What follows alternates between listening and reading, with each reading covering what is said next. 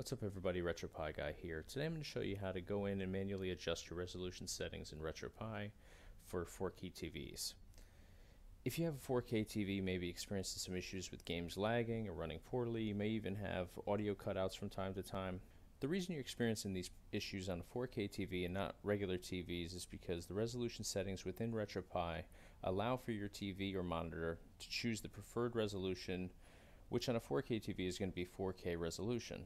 Unfortunately for these retro games that are anywhere from 15 to 40 plus years old, 4K resolution is just too much for these games to handle.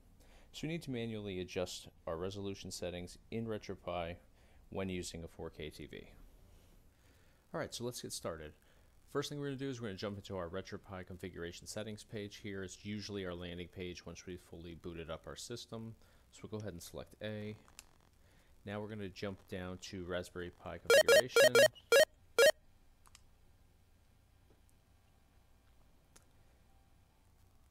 Now you can do this with either a keyboard or your regular gamepad controller.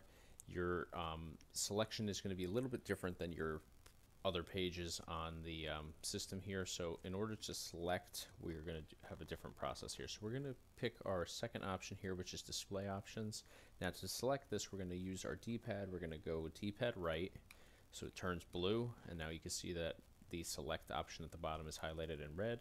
Now instead of hitting A like we usually do throughout our system, we're actually going to hit B here.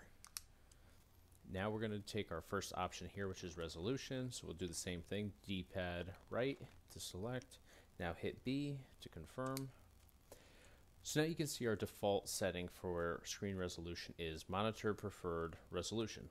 What that means is, is the system is allowing our monitor or TV to dictate which um, resolution um, our system is going to be outputting. So in the case of a 4K TV, it's actually asking our system to give it 4K resolution. With these games being older, anywhere from 15 to 40 plus years old, they obviously can't handle this um, new resolution setting. So we actually have to go down and manually override that by selecting a different option. So there's all these options here. We can actually select any of these.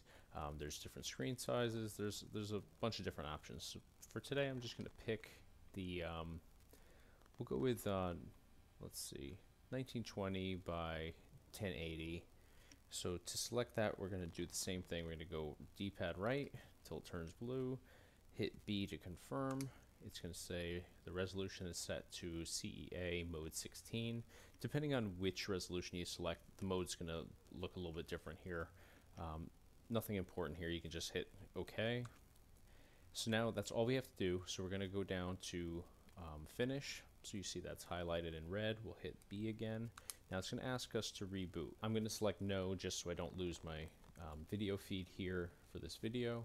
But go ahead and select yes. What it's going to do is it's going to power down your system and reboot it.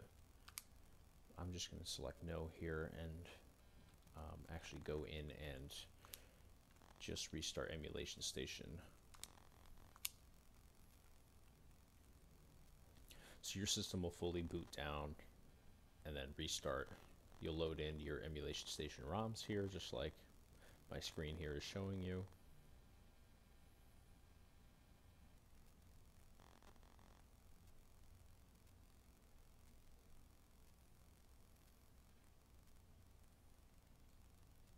All right, so we fully rebooted our system. We're just going to verify that the changes were made correctly. So we'll jump into our RetroPie configuration settings again. We'll jump down to Raspberry Pi configuration.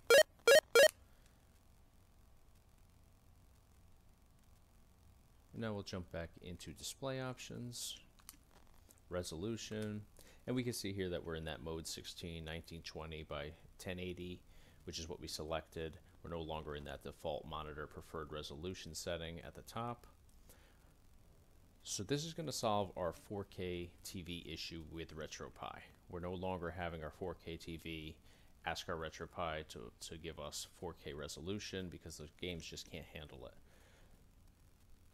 Now, if you went and you did your reboot and you got a black screen, or maybe you got a rainbow kind of colored screen that eventually went black, don't pull your hair out. You didn't corrupt your card. You didn't do any irreversible damage to anything here. just take your HDMI cable out of the current port that you're in on the side of your Raspberry Pi 4 and plug it into the other HDMI port. I spent a lot of time the first time I did this, um, banging my head against the wall, figure, trying to figure out where I went wrong, thinking I just totally corrupted my card. You just have to switch that HDMI cable to the other port. As soon as you do that, you at by the time you actually do it, you'll probably already be back to your um, landing page within your system. It's a super easy fix, nothing to get stressed out about. Um, so hopefully that helps you if you do run into that problem. This should solve all your 4K TV issues with RetroPie. If you found this video helpful, please give us a thumbs up. Be sure to subscribe to our YouTube channel. We do a whole bunch of tutorials relating to the Raspberry Pi and RetroPie systems, um, as well as gameplay demos and future updates a lot of different um, theme options, just a lot of great content in general.